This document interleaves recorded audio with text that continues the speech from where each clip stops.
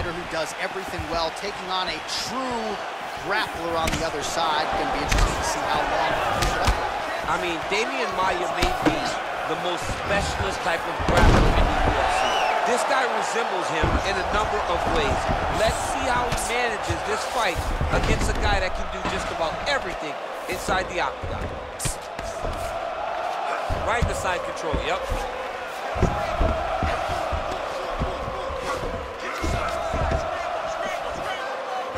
Tito's got him in a crucifix, gonna work for